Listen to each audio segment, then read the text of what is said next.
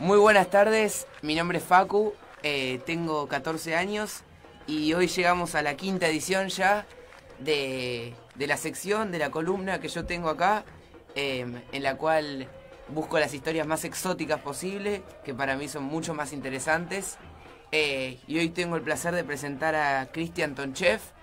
Él es un jugador argentino con una extensa carrera, em, más de ya 20 años, eh, actualmente en el Recreativo Belmesano, en el ascenso español. ¿Ahí me puedes escuchar, Cristian? Hola Facundo, sí, te escucho muy bien. Un placer saludarte. Gracias por la invitación. ¿Qué tal? El placer es mío. Bueno, primero que nada, muchas gracias eh, por tu buena onda eh, y por darnos estos minutos. No, gracias a ustedes, gracias a ustedes. Un placer siempre dialogar y charlar y, nada. gracias de corazón. Mirá, justo Cristian eh, tiene un podcast muy parecido a lo que hago yo, de buscar así historias exóticas. ¿Puedo decir que te copia? Nah, nah, pero es una idea muy similar y muy que me gusta mucho. Em, así que te felicito por eso, Cristian.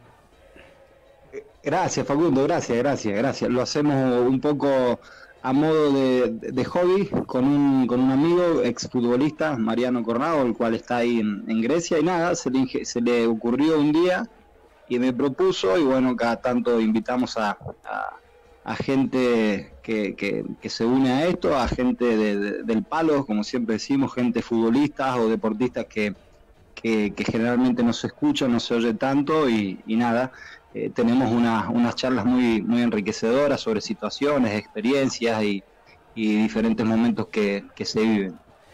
Bueno, Cristian, eh, yo casi lo mismo, la verdad, es muy lindo para mí. Eh, y si te parece, empezamos con las preguntas. Dale, Facu, antes de empezar, Facundo, déjame, déjame, déjame darte la enhorabuena eh, por, por, por, esta iniciativa que tenés, esta determinación que, que a tu edad eh, espero verte con el transcurrir del tiempo eh, seguir adelante y verte progresar, así que enhorabuena por, por, esto que estás haciendo, ¿sí?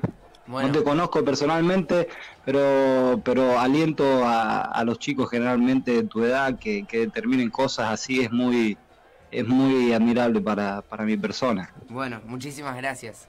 Eh, lo primero que, bueno, para la gente que no sabe, Cristian jugó en España, eh, Bahrein, Gibraltar y Malta. Eh, y España, bueno, España. y tres de esos son muy exóticos.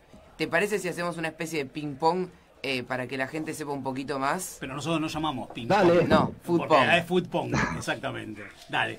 Eh, muy buena, muy buena. Fútbol, excelente, dale. Bueno, lo primero que me gustaría preguntarte es, ¿en cuáles de estos países te pudiste eh, sentir más cerca a tu Chaco natal o más, más, eh, más cómodo? ¿Dónde, ¿Dónde te gustó más estar? Vos sabés que con respecto a sentirte cerca a las raíces, nada es comparable con, sentirte cerca de la familia, de los amigos, que en realidad ellos, ellos son los que hacen las raíces, ellos son los que hacen el lugar donde uno se siente acogido. Pero tuve la suerte, la bendición de, nada, de, que la vida me dé la posibilidad de concretar el sueño y a cada lugar que fui realmente me he sentido muy cómodo desde que llegué a España, inclusive España, Gibraltar, eh, inclusive Bahrein, un país eh, totalmente diferente eh, obviamente me he sentido eh, muy, muy acogido, no sé por estas cosas del fútbol, ¿no? Quizás porque somos argentinos y el hecho de que te vas a un país de estos árabes, te dicen Maradona, Messi, Agüero y, el fútbol, lo que rodea, es como que te abren un poco más los brazos y uno a partir de ahí realmente se siente muy cómodo. Realmente no tengo específicamente uno, un lugar en el cual yo diga me he sentido más cerca de mi, de mi Chaco natal por el simple hecho de que la familia y los amigos se encuentran allá y, nada. Eh, al fin y al cabo uno hace, hace su vida y bueno, tengo mi familia aquí, mi esposa e hija, y cada lugar donde vamos eh, nos sentimos acogidos, así que no tengo un lugar específico. Muy, bien. Em, y de todos estos países, ¿te gustaría seguir viviendo el resto de tu vida allí con tu familia o tu idea en algún momento es volver para la Argentina? Y No, no, no tengo un ideal con respecto al futuro de qué me gustaría más. Eh, más que nada el hecho de, de, progresar, de, de, proponerse metas, objetivos, obviamente eh, a nivel familiar, eh, a nivel personal, y a partir de ahí, obviamente, donde, donde generalmente eh, me den la posibilidad de uno seguir adelante con, los objetivos, las metas eh, que uno propone, ¿no? Nunca, nunca suelo cerrar puertas, nunca suelo decir de esta agua no beberé porque nunca se sabe lo que la vida tiene preparada, ¿no? Está muy bien. Em, y para la gente que no sabe, Cristian fue el primer argentino en jugar en Bahrein. prepara, primero, ¿dónde es Bahrein? Vos que sos un estudioso... Pegado, pegado al agua. Eh, muy cerca de los, de los Emiratos Árabes, ¿o no? Sí, por supuesto. Exacto. Pero, si me decís pegado al agua, puede ser también Uruguay, puede ser. Bueno, eh, Cristian le tocó estar muy cerca del agua. Malta, eh, Bahrein y Gibraltar. Pegados, pegados al agua. Países con, con, océano cerca, efectivamente. ¿Y qué nos puedes contar un poco sobre Bahrein? y si tenés alguna anécdota allá que a la gente le gustaría saber. Y anécdotas, anécdotas por ahí, viste, hay, hay muchas y generalmente cuando estás en, en amigos así, en privado, en intimidad, entre una cosa y otra comienzan a salir ciertas anécdotas y más con gente que, que ha compartido con uno, ¿no? Eh, nada, decía, bueno, Bahrein, eh, justamente te preguntaba, es, es una isla árabe que, que, está muy cerca a Arabia Saudita, lo separa un, eh, un puente de 26 kilómetros aproximadamente, está muy al lado de Qatar y, nada, está en el Golfo, en el Golfo Pérsico. Y, nada, obviamente una de las anécdotas que, que siempre recuerdo y que lo he contado mucho, ¿no?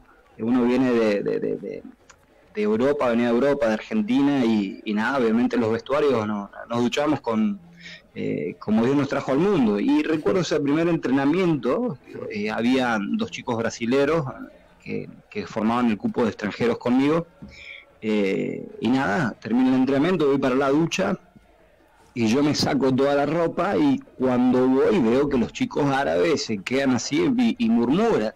Y claro, yo eh, en, plan joda agarro, ¿viste? Y me miro a mi miembro y digo, no, si está en orden, le digo a los chicos brasileños, ¿viste? digo, no, si está en orden esto.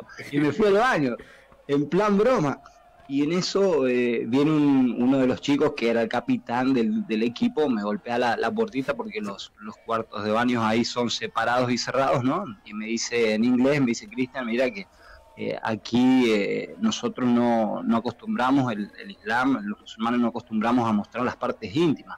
Así que si, si te duchas te tienes que, que, bañar con, con, con calzoncillos.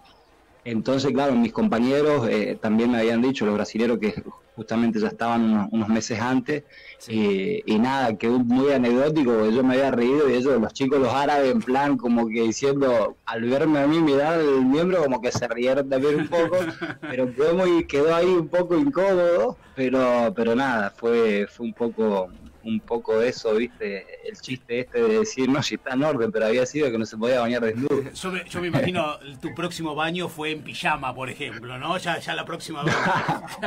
el, partido, el partido siguiente te pusiste el calzoncillo largo. sabes que... no, el, el, otro obviamente me dejaba el calzoncillo y cuando me iba a bañar me sacaba el calzoncillo dentro del, del, cuartito individual.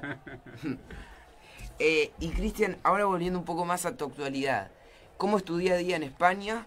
Eh, Cristian tiene dos trabajos, aparte de ser futbolista. ¿De verdad? Eh, es entrenador de juveniles. Eh, bueno, fue campeón con juveniles en Malta, si no me equivoco. y me gustaría que nos cuentes un poco cómo es tu día a día allá. es... Bien, sí, estoy, estoy haciendo de manera paralela, ¿no? Obviamente como futbolista eh, intentando aprovechar los últimos, las últimas etapas de, de, bueno, futbolista. un doblete. ¿Cómo clavó un doblete? Hace nada. Sí, sí, sí, sí, el último partido, el último partido sí, dos, pero no sirvió de nada porque obviamente hemos, hemos cumplido el objetivo y obviamente las motivaciones del equipo es un poco relajada y, y al fin y al cabo la competitividad se pierde y obviamente nos metieron una media docena, 6-2 perdimos el último partido y los dos goles los pude marcar, pero no sirvieron de nada. Yo siempre digo, no sirve ni, no los cuento, personalmente no los cuento porque no suelo, no suelo contar, soy una persona que me gusta que el equipo gane, juegue bien y me pone muy contento de eso, ¿viste? Está muy bien. Eh, y nada, actualmente, actualmente sigo jugando como futbolista y, nada, eh, hago de manera paralela eh, el rol de entrenador en, un club justamente del pueblo vecino, el Peñarroya Pueblo Nuevo, el sub-15 y nada, compitiendo la tercera andaluza cadete, aquí le llaman al, sub-15 cadete. y nada, también obviamente siguiendo estudiando, reciclando y preparando lo, que, uno, lo que uno desea con, con las licencias de entrenador y también obviamente haciendo haciendo haciendo un poco el podcast de vez eh, una vez a la semana y muchas veces cuando surge eh, escribo tengo un blog también donde donde suelo escribir plasmar cosas que uno siente experimenta y, y, nada y profundiza ¿no? sobre el fútbol y, todo esto es decir, claramente lo que te iba a preguntar es si después de, de, no te estoy no te estoy haciendo colgar los botines ya, pero después del, del día después tu idea es seguir vinculado al fútbol. Sí, sí, sin duda. Sin duda el, el, el hecho de, el deseo de, de, seguir involucrado en el fútbol, más que nada por una causa de intentar de, de hacer un fútbol mejor, ¿no? Uno ha vivido situaciones, eh, situaciones complicadas, feas, que, que uno no les desea a, ninguna persona, ¿no? Entonces, lo cual eso hace un motor, una motivación extra en el cual me, me, exija, ¿no? Eh, eh, eh, cada día prepararme más para, para estar ahí e intentar hacer de, este fútbol, porque obviamente el fútbol de, es el fútbol de mi vida desde niño, es mi pasión, entonces a partir de ahí uno quiere seguir involucrado y, como te dije antes, eh, eh, ayudar a, los chicos a desarrollarse, o bien, si Dios me da la, bendición, llegar a, dirigir algún club que con, referencia de, de, elite, ¿no? Cuando te referís a situaciones complicadas y complejas, te referís a situaciones de desarraigo, te referís a situaciones de eventualmente eh, viajes eh, lejanos a la familia, a chicos que, que no tienen don, pensión, eh, ¿a qué te referís puntualmente? generalmente me refiero el, el, tema de desarraigo, los viajes, el dejar la familia eh, creo que, cada persona que lucha por su sueño debe tener claro de que eh, debe, debe desarraigarse de ello porque al fin y al cabo puede ser un estorbo en el cual te, te, limite llegar a donde uno desea. Si no, me refería más que nada o me refiero siempre al hecho del entorno en el cual se maneja el fútbol. Muchos chicos quedan desolados, qué sé yo. He visto muchos chicos jóvenes suicidarse, he visto muchos engaños, chicos, eh, gente que juega con las ilusiones de los chicos que buscan cumplir sus sueños, estafas, eh, barbaridades de cosas, representaciones, en fin, eh, cosas en el cual no, nunca me gustó y, al fin y al cabo uno, gracias a Dios, la, la supo superar eh, y bueno, a uno no le gusta que, que siga sucediendo ello, así que bueno, lo que está al alcance intentaremos hacerlo mejor, ¿no? El tema es que es muy difícil dentro de la estructura del fútbol a nivel mundial conseguir eh, una, una, institución que pueda solventar eh, terapeutas para las divisiones inferiores. Digo, hay todo una, una necesidad que tiene que ver con, con, las divisiones inferiores y con los equipos eh, en formación, sobre todo en categorías en segundas, terceras, cuartas categorías, que son picaderos de, de niños, realmente. Eh, la capacidad, la frustración está todo el tiempo a la orden del día. Vos pensás, y esto lo sabés mucho más vos que, yo, vos pensás que el 1, el 0,1% de los chicos que inician una carrera deportiva futbolística pueden llegar a jugar a nivel profesional. Digo, estoy hablando de un porcentaje que es ínfimo y la ilusión y la representación del éxito es muy grande. Eh, vivimos en una época de, mega comunicación, ¿no? Donde todas las redes, todos los medios, toda la información tiene que ver con alcanzar el nivel de éxito que tiene que ver con una capacidad de, acceso a determinadas cuestiones, cosas. Eh, todos habremos querido ser Maradona o Messi en algún momento de la vida algunos en función de una calidad, calidad de fútbol, otros en función de una capacidad económica. Y la realidad es que es muy frustrante y es muy difícil eh, el, proceso psíquico de esos niños. ¿Es, es, es así? Es exactamente, coincido en la parte de que es realmente difícil desde, eh, desde el mensaje en el cual eh, es frustrante para un chico pero eh, lo que a mí me compete, ¿no? Eh, no es lo mismo, yo siempre hablo con los chicos, no es lo, no es lo mismo eh, plantearse ser futbolista o tener un sueño de ser futbolista a decir quiero ser Messi jugar en el Barcelona. ¿Quién tiene más posibilidades? ¿El que quiere ser Messi o el que quiere ser futbolista? El que quiere ser futbolista. A partir de ahí, exactamente, entonces a partir de ahí los educadores, los, los entrenadores, debemos saber de que el fútbol es mucho más amplio. Yo eh, estuve en Boca Juniors una parte de mi carrera, obviamente había mucha competitividad, tuve que irme, salir, estuve en San Martín de Mendoza, pero en ningún momento obviamente me dejé, me dejé llevar sobre el tema de frustración, decir ya está, no vas a llegar. Es más, yo tenía, recuerdo, 25 años, estaba jugando en Huracán de Corrientes y muchas veces decían, no, deja el fútbol, no vas a llegar a nada, ¿no? Y, pero muchas veces hay que escuchar a uno mismo porque mi, mi anhelo, mi deseo, más allá que admiraba mucho a Diego, eh, nunca llegué, nunca quise ser él. Yo solamente quería ser futbolista. A partir de ahí, eh, la vida me llevó a, Europa, la vida, el fútbol me dio la posibilidad de formar una familia, la vida, el fútbol me dio la posibilidad de aprender un idioma, la vida, el fútbol.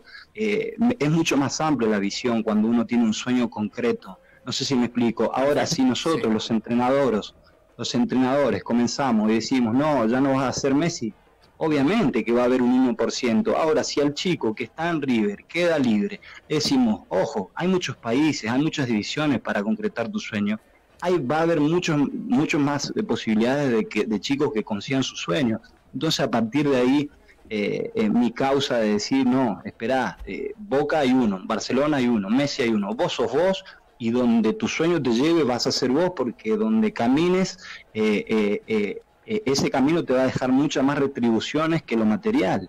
Y está claro y lo digo porque soy soy de ello y, hoy no hay día en el cual en el cual descanso y tengo mi familia y, estoy bien. Inclusive sigo jugando con 39 años y, sigo renegando y, sí, y quiero seguir ganando hmm. y, uno mira atrás y digo debería ser diferente entonces si nos planteamos los educadores eh, no estamos hablando de que los clubes deban tener o exigir obligatoriamente tener psicólogos, sino de preparar a los entrenadores sabiendo de que si hay un futbolista o 10 que no llegan a primera división, pero que se le habla la visión de que el fútbol o llegar a, concretar el sueño es mucho más amplio.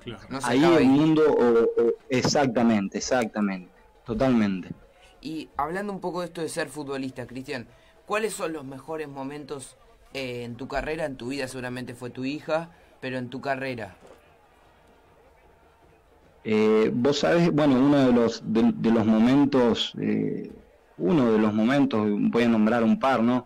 Uno de los momentos fue cuando obviamente uno siempre soñaba, ¿no? De, que de quererse llegar a Europa y en fin, y estas cosas que uno a veces, si yo me pongo a contar, parece como que es de mentira y, y en un momento para otro me encontré arriba de un avión en primera clase volando para España con, con la idea solamente de intentar probar y luego me vi con que eh, pude formar una familia, uno de los sueños que, siempre tenía, eh, y, otro de los momentos eh, buenos a nivel deportivo fue obviamente clasificar a, la fase previa de Europa League, poder jugar las dos veces, capitanear una de ellas, obviamente jugar en frente del presidente por primera vez en Gibraltar, el presidente en aquel entonces de UEFA que era Platini.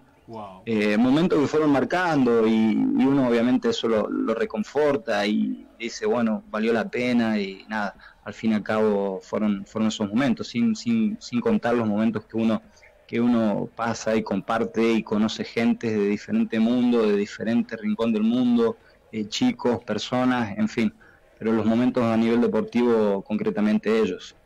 Está muy bien. Y bueno, a vos siempre te acompaña tu familia eh, y seguramente también el mate, me imagino.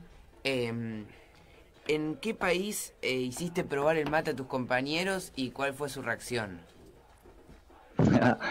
y vos sabés que el mate, obviamente el lugar donde vamos, eh, suelen, suelen preguntar y obviamente cuando llegamos a España eh, nos preguntaban qué era ello y uno le explicaba, uno, claro, al ver la hierba, las personas cuando nos veían en la plaza pensaban de que era marihuana, algo por el estilo, ¿viste? Y uno decía, no, y digo, no, no, no, esto es una especie de infusión en el cual se toma así, proviene de Argentina y demás. Y obviamente al principio uno le hace probar a los compañeros y es re amargo, igual que en Bahrein en Bahrein estaba, estaba tomando mate y se me acerca un, un, chico y un árabe y obviamente le compartí. Y viene otro chico árabe y me pide mate y le digo, ¿cómo? Y le di mate, ¿viste? Y me había enterado de que, estos chicos que estaban eran sirios, habían dos, y, ellos tomaban mate, y me enteré de que en Siria se bebe mate. A partir de ahí, exactamente, yo en ese, en ese entonces en Bahrein no, tenía hierba, y ellos mismos me habían traído una hierba, y a partir de ahí yo conseguía hierba. y a partir supe la historia de que los sirios en, en, en una parte de su historia habían ido para allí y sus abuelos, sus ancestros habían llevado la costumbre de ella y allí en Siria se toma mate. Mira. Eh, y volviendo un poco más para el lado de Argentina, de tus raíces de Chaco, ¿qué es lo que más extraña de, tu barrio de Puerta del Sol eh, viviendo tan lejos? Y realmente se extraña, se, se, extraña la familia, los amigos, eh, pero al fin y al cabo cuando pasan los años uno, uno ya va estableciendo, va aceptando y, al fin y al cabo quedan esos recuerdos bonitos y, más que extrañar es, eh, es esa melancolía que uno decía que, bueno aquellos momentos cuando jugaba en el barrio con los amigos y, al fin y al cabo eh, es una especie de, recuerdo confortable, ¿no? Pero generalmente en, Chaco, en Saspeña, en los lugares donde está mi familia se, extraña el compartir con ellos, el, charlar, el abrazarlos, el, el tomar unos mates, etcétera pero como te dije antes, a medida que pasa el tiempo, uno al formar la familia, como que, eso se, se apacigua un poco más, ¿no? Y te quedaste un poquito con la espina de haber jugado un poco más en el fútbol argentino porque fue muy corto el paso por Morón y colegiales. Eh, ¿O crees que las cosas se dieron como se tenían que dar? En cierta etapa de mi vida, eh, cuando vengo para España, eh, podría, podría haber sentido como una manera de, espina, decir, no tuve la oportunidad, pero cuando transcurre el tiempo eh, vas profundizando y te vas dando eh, cuenta de ciertas cosas, uno, da gracia y dice, tendría que, tuvo que ser así para que suceda donde estoy, ¿no? entonces a partir de ahí no, uno ya no lo toma como una espina, sino que lo acepta y que, y que nada, forma parte de, formó parte del camino, formó parte de, haber llegado donde uno está, ¿no? Claro. Em, y para cerrar, me gustaría hacerte la pregunta tradicional mía que le hago a todos mis invitados. Bueno, uno de mis invitados fue Nico Bot, que creo que le hiciste un podcast. Ah, sí, sí, sí, tenemos contacto, charlamos mucho, sí, sí, sí. Bueno, mi pregunta es, em, ¿qué te gustaría charlar sentado en una placita ahí en, en Puerta del Sol con, decime algún referente tuyo en el fútbol. Oh. Y el Diego. Referente, de referente principal no, no tengo ídolos, ¿no? Pero sí admiro referente Diego Armando. Bueno, con el Diego en una placita en Puerta del Sol eh, o en tu casa de Puerta del Sol tomando unos buenos mates probablemente eh, a, día de hoy, en una etapa donde me encuentro el fútbol eh, casi, casi a las puertas de, finalizar, no creo que, hable específicamente de fútbol, sino que me sentaría, hablaría con él cosas específicamente de él, de la vida, de las decisiones y, de todo lo que rodea al ser humano. ¿no? Está muy bien. Eh, bueno, Cristian, esto ha sido todo. Te agradezco un montón. Para mí fue una terrible entrevista. Eh, y gracias por tu predisposición por hacerlo más tarde allá en España. Gracias a ustedes, gracias, gracias de corazón. Un placer eh, haber charlado, siempre es un placer charlar de fútbol, de, todo esto que nos rodea. Así que nada, eh, aquí estoy para, para servirles, para ayudarles en lo que, lo que está a mi alcance. Éxitos en lo que te propongas, éxitos a la audiencia, a la, gente que compone con, contigo el programa y un abrazo grande. Y vamos, a estar, vamos a estar atentos a tu futura carrera de, entrenador, porque pasta sobra, es evidente. Si hacia eso ah, le, sumamos tu calidad lingüística que, que, sos un crack. Realmente nos has eh, gratificado con, la charla. Un placer, Cristian. ¿eh? Gracias, a ustedes. Un placer. El placer es mío. Dios lo bendiga. Cristian Tonchef en Dos al Revés.